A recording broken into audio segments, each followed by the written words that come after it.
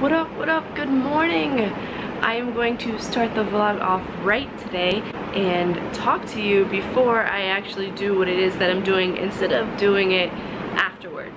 So it is, I don't know, my phone is in my bag, but it is about 6.30 in the morning um, and I am going to Chichen Itza today.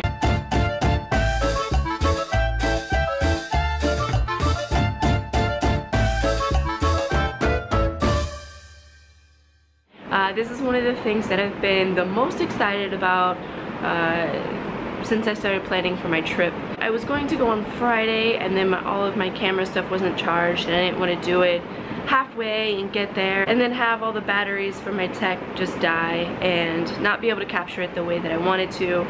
Um, so then I decided to go on Saturday uh, but then I was switching hostels that day and I just didn't want the hassle of having to pack up all of my stuff and leave it in storage and then go and come back and switch hostels and all that kind of stuff. So I ultimately decided to just switch hostels yesterday, hang out again, and then today go to Chichen Itza. Uh, so I don't know how long I'll stay there. Uh, says typically people stay between two to three hours. I'm trying to catch a colectivo uh, so I don't have to take the ADO bus because if you take the ADO bus, um, one, it's more expensive, and two, it doesn't get there until later on in the morning, and that's when all of the tourists and everything arrive. So if you take a colectivo, it's, I think, about 40 pesos. Um, that's what I've been reading and seeing. So yeah, so then we get there like mad early, either right before or right after it opens. Um, and then we kind of have the place to ourselves. Um, there's not that many people. So I'm hoping that's what's gonna happen, fingers crossed. Um, I'm headed out now to try to find uh, Colectivo. All right, vámonos.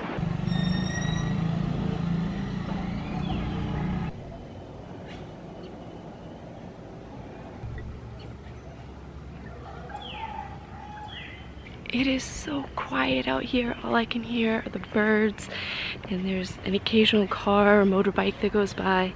Uh, but for the most part, everybody is still at home. Everybody's probably still asleep. And I think that's wonderful. That's the way that it should be.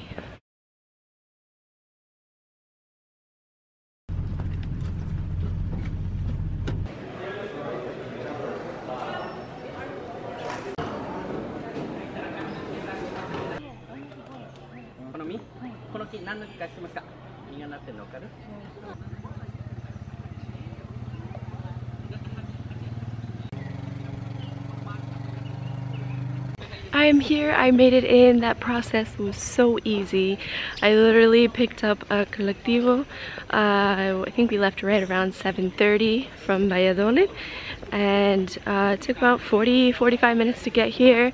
It was 40 pesos 40 pesos. And then the entrance fee for here at Chichen Itza was 242 pesos. Um, they just give you a ticket. You literally walk in they scan it and that's it. This process is super simple. I made it. One of the new seven wonders of the world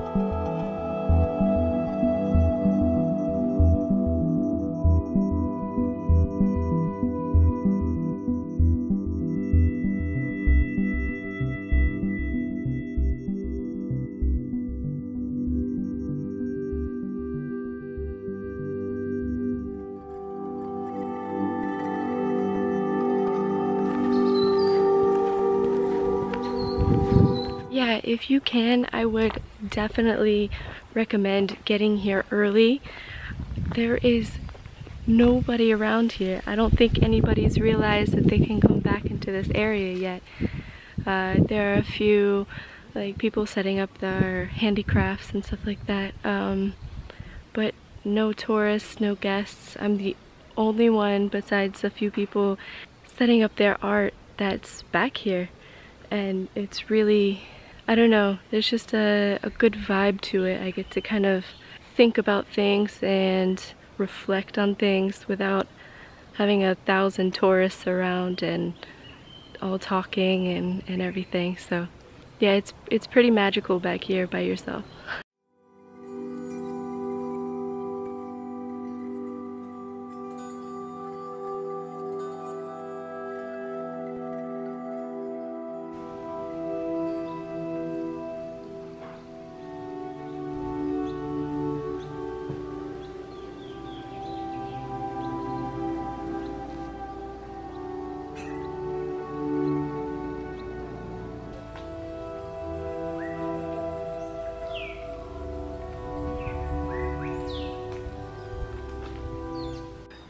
So there's a prohibited to enter sign, but right behind it there are other monuments and other structures. So I'm curious as if they're doing uh, excavations or what. And I'm, if I didn't study TV production, I had a huge uh, interest in archaeology and anthropology.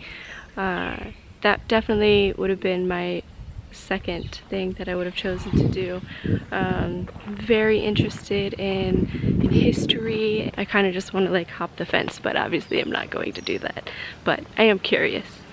It's extremely impressive to be witnessing these things. These columns and these structures were built between 900 and 1200 AD.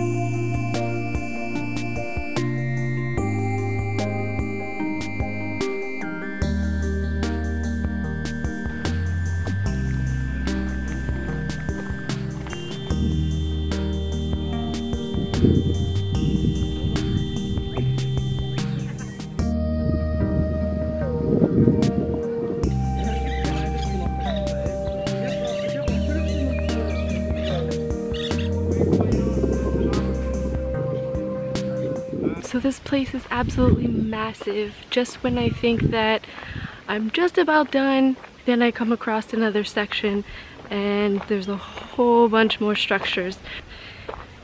Definitely set aside several hours if you want to see everything that they have here.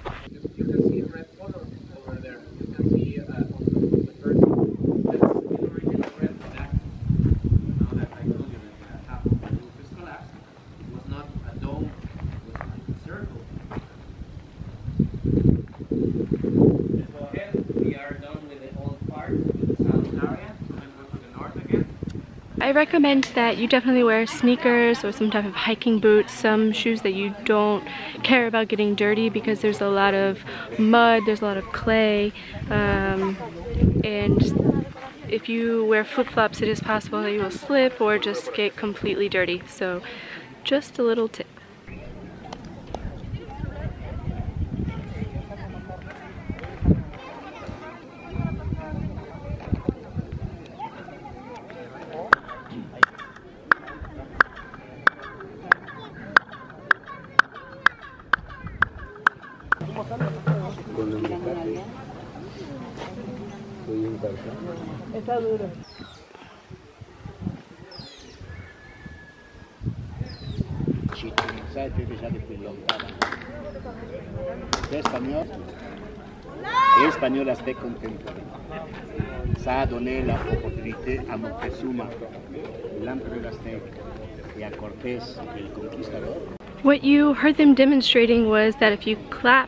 on one end or if you scream really loud or say something really loud on that end, it reverberates and echoes back from the other side.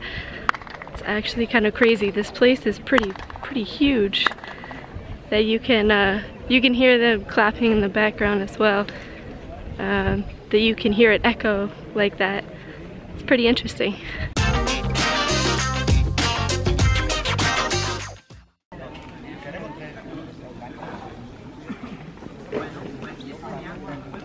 Alright, it is about 11.15. I've been here for about three hours now and all of the tour buses are starting to come in.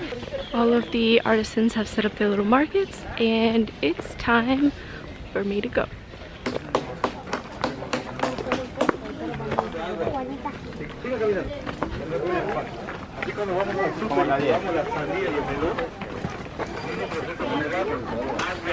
Hopefully you can hear me because I just turned on the fans and hadn't got the shot yet so there may be noise of the fan in the background. Anyways, so what up, what up? It is Monday morning, August 28th, and I am leaving Valladolid and I am heading to Tulum. Uh, really excited. It's been a while since, well, not a while, it's been like a week and a half since I've had a beach uh, near me. Uh, so I'm excited to get to Tulum and explore that area and lay out on the beach for a while.